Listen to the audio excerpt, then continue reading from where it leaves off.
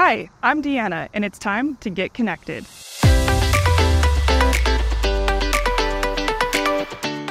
In the July 2024 edition of the Connected newsletter, you'll learn more about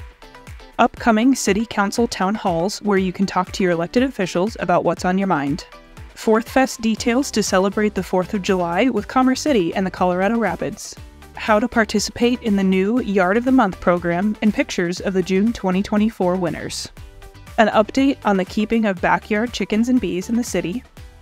opportunities to help shape the community through the Boards and Commissions program, that and much more in the July 2024 edition of Connected. To learn more about what's in this month's edition of Connected, check your mailboxes or visit us online at the address on your screen. And thanks for staying connected.